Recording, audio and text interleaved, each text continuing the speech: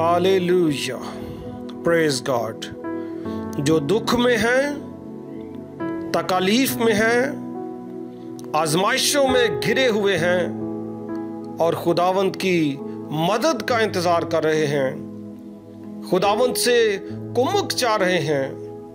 یہ چند مقدس آیات آپ کے لیے پیش کر رہا ہوں۔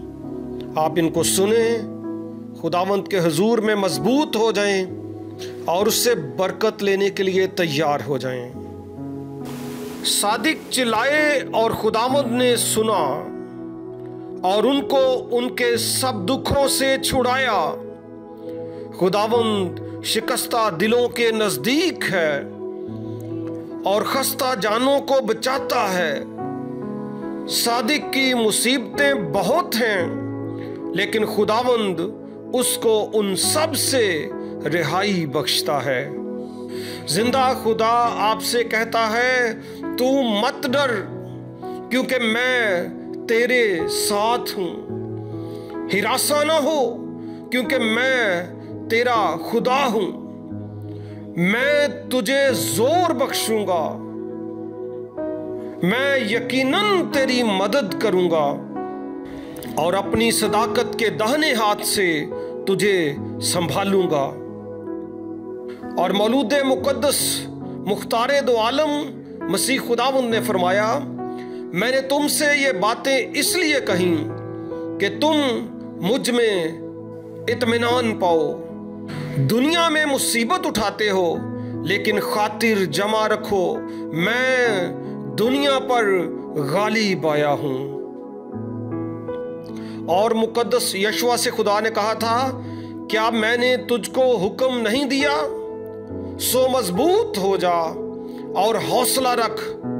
خوف نہ کھا اور بے دل نہ ہو، کیونکہ خداون تیرا خدا۔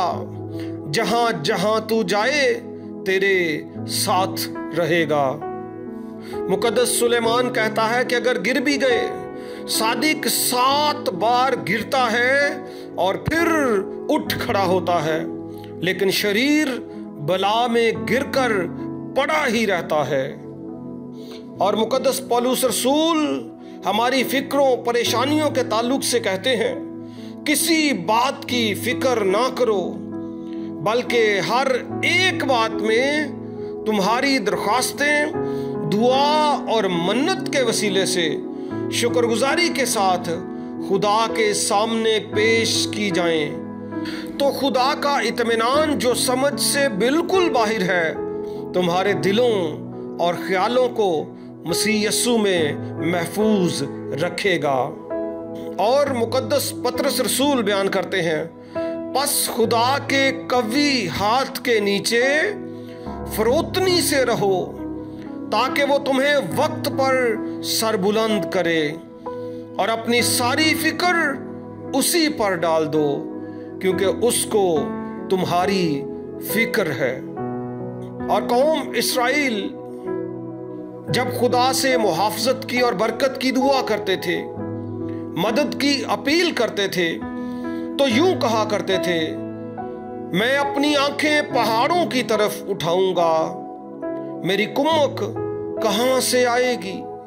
میری کمک خداوند سے ہے، جس نے آسمان اور زمین کو بنایا، وہ تیرے پاؤں کو پھسلنے نہ دے گا۔ تیرا محافظ اونگنے کا نہیں۔ دیکھ، اسرائیل کا محافظ نہ اونگے گا، نہ سوئے گا۔ خداوند تیرا محافظ ہے۔ خداوند تیرے دہنے ہاتھ پر تیرا سائبان ہے۔ نہ آفتاب دن کو تجھے ضرر پہنچائے گا، نہ محتاب رات کو۔ خداوند ہر بلا سے تجھے محفوظ رکھے گا۔ وہ تیری جان کو محفوظ رکھے گا۔ خداوند تیری آمد و رفت میں اب سے ہمیشہ تک تیری حفاظت کرے گا۔ ہالیلویا۔ آمین۔ خداوند آپ کو برکت دے۔ خداوند آپ کی مدد فرمائے۔ آپ کی ساری پریشانیاں مسیح کے نام سے جاتی رہیں۔ آپ کی ساری بیماریاں مسیح کے نام سے جاتی رہیں۔ ساری آزمائشیں جاتی رہیں۔ اور خداوند قدوس زندہ خدا، آپ سب کا نگہبان ہو۔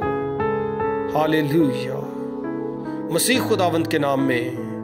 آمین۔ آمین۔